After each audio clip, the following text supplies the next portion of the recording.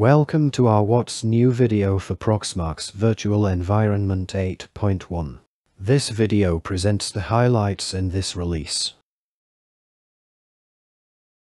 Software-defined networking packages are installed by default. The SDN technology within Proxmox VE allows for the creation of virtual zones and networks, enabling users to effectively manage and control complex networking configurations. The DHCP integration into the built-in PVE IP address management stack uses dnsmasq for giving out DHCP leases.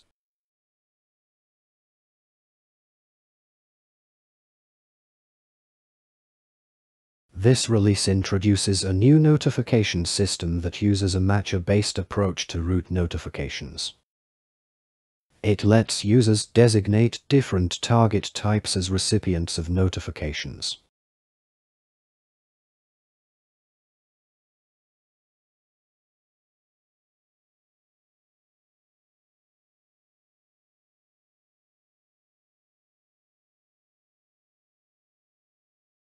Alongside the current local postfix MTA, users now have the choice of utilizing a Gotify server or send emails via authenticated SMTP.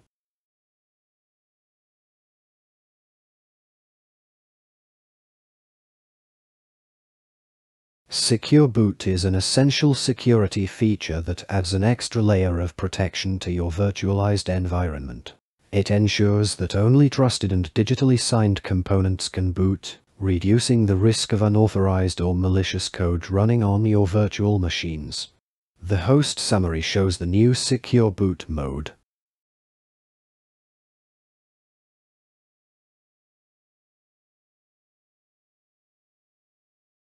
The improved bulk actions includes now an action to suspend a selection of guests.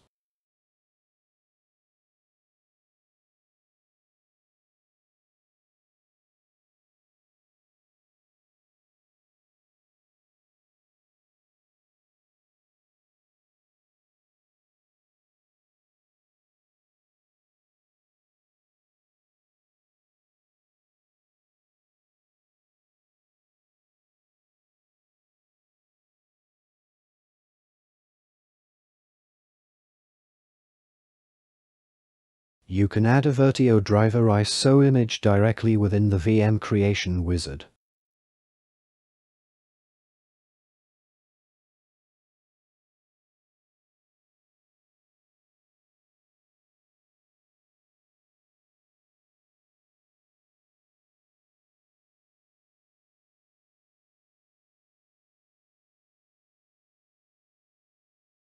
In addition to the major features highlighted, this version also includes a range of performance improvements, bug fixes, and updates to enhance the overall stability and reliability of the software. Proxmox Virtual Environment 8.1 is based on the latest Debian 12.2, codenamed Bookworm, combined with leading open source technologies for virtual environments. This includes a modern Linux kernel 6.5, Ceph 18.2, QEMU 8.1, and OpenZFS 2.2. We encourage you to explore these new features and provide your feedback to help us further refine and improve Proxmox virtual environment. Thank you for watching, and as always, stay tuned for more updates and features in future releases.